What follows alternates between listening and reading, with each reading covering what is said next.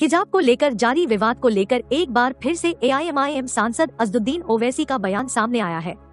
उन्होंने सवाल किया क्या हिजाब मुसलमानों के पिछड़ेपन को दर्शाता है? और पूछा कि क्या मुस्लिम महिलाएँ देश के विकास में योगदान नहीं दे रही है? उन्होंने कहा जिसे बिकिनी पहनना है वो पहने आप क्यों चाहते हो मेरी बेटी हिजाब उतारे और मैं दाढ़ी कटवा लूँ?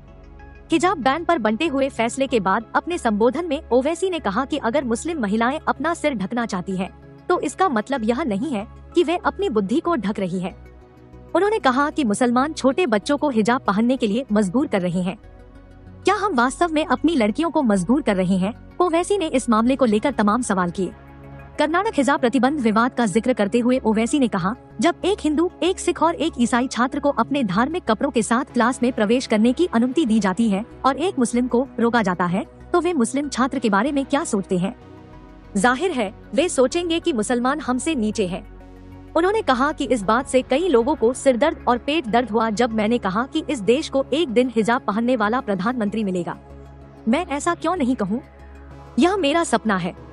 इसमें गलत क्या है? लेकिन आप कह रहे हैं, हिजाब नहीं पहनना चाहिए। फिर क्या पहनना है? बिकिनी, आपको वह भी पहनने का अधिकार है। आप क्यों चाहते हैं कि मेरी बेटियाँ अपना हिजाब उतार दे और मैं अपनी दाढ़ी मुंडवाऊं